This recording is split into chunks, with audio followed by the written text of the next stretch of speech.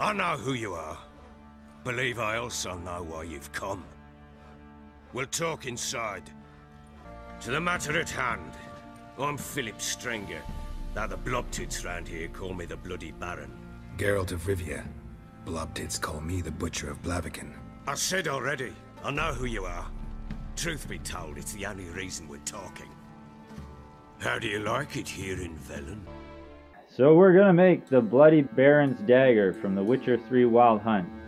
I really like the game and I thought, well, the show is on the air, maybe I'll make this night finally. So it's pretty well a standard bowie, 18 inch overall length, 12 inch long blade. It's gonna be somewhere between one and a half by two wide and 3 16 by a quarter thick.